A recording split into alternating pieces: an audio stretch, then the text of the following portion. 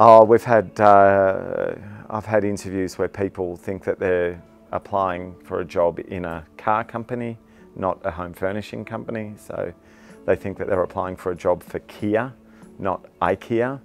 Uh, so this guy came in talking all about his favourite cars and what model he liked and that he owned a Kia. And you know, I said to him, "You're talking a lot about cars. Why, why are you so interested in me to know about the car?" And he said, "Well, you're a car company, right?" No, we're a home furnishing uh, company. Uh, hey, yeah, which is Swedish for hello. Uh, my name is Malcolm Pruys, and I'm the retail country manager for IKEA in Mexico. So I, um, uh, I finished high school uh, and I, I wasn't uh, much of a, a studier. I played a lot of golf and chased a lot of girls, but I didn't study much. Uh, so then I went straight to work. Uh, I worked for another retailer for 10 years doing some, uh, a little bit of development in department store retailing before I joined IKEA. And then when I joined IKEA, I think the, the thing that helped me to grow and develop the most is the mentorship that you get uh, and the development that you get through different leadership programs, uh, but also having somebody by your side all the way to help you grow each time. And I think the key to IKEA, more often than not, is you tend to be given a job that's a little bit bigger than your ability is at the time so that you grow into it. It makes you hungry, it gives you lots of uh, opportunity to grow and develop and challenge your own leadership. Yeah? And then I think uh, we spend more time working on the leadership part than we do sometimes on the competence part. Uh, the competence part comes naturally, but it's how we grow our leaders that I think is something that uh, IKEA can be proud of. One of the things that we will give is development and growth opportunities. Uh, we're not employing people for jobs. Uh, everybody's a talent.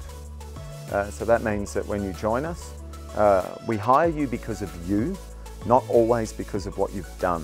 Sometimes that counts, sometimes it doesn't. We're more interested in you as a person, your values, uh, where you come from, the experiences that you've had in life. That's really important because quite often you're defined more by the experiences you've had in life than where you have studied or been educated.